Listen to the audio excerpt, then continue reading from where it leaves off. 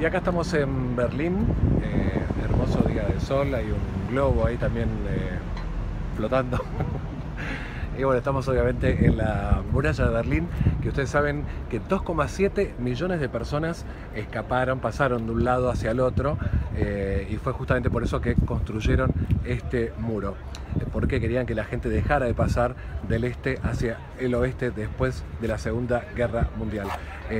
fue construida en 1961 y fue derribada en 1989. En total estuvo 27 años, 28 años esta muralla y 136 personas murieron intentando pasar de un lado para el otro porque obviamente con esta muralla que tenía unos 120 kilómetros más o menos ellos podían controlar realmente eh, el que quería escapar y eso obviamente estaba prohibido. ¿eh?